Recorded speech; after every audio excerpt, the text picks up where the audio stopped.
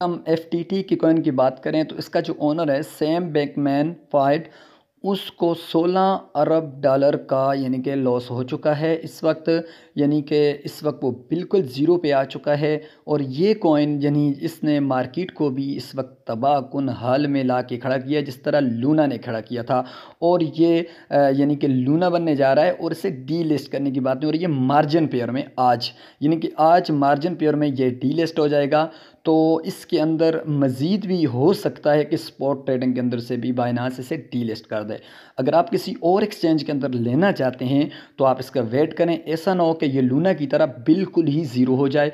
अगर आप बहुत ही ज़्यादा इंटरेस्टेड हैं, किसी और एक्सचेंज पे चले जाएँ, वहाँ पे दो चार डॉलर का जब आपको ये ज़ीरो के अंदर मिले तो आप ले लें।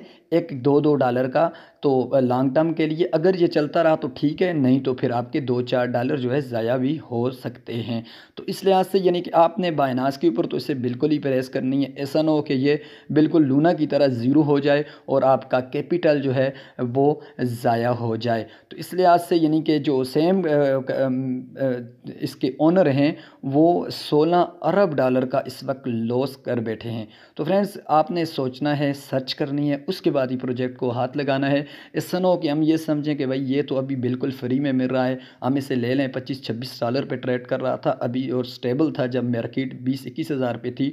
तो यहाँ तक जाते जाते अब इसे बहुत ज़्यादा टाइम लगेगा। ऐसा ना हो कल बायनाज इसे स्पॉट से भी डीलिस्ट कर दे। आप किसी और एक्सचेंज से अगर इसे बाय करना चाहते हैं तो आप इसके ज़ीरो होने का वेट करें। जैसे ही आपको एक दो ज़ीरो के अंदर मिले तो आप वहाँ पर इसकी ट्रेड यानी कि दो, तीन, चार डॉलर से ज़्यादा इसके अंदर रिस्क ना लीजिएगा। तो उम्मीद है कि आप भाइयों को अच्छी वीडियो अच्छी लगी होगी, अच्छी लगी।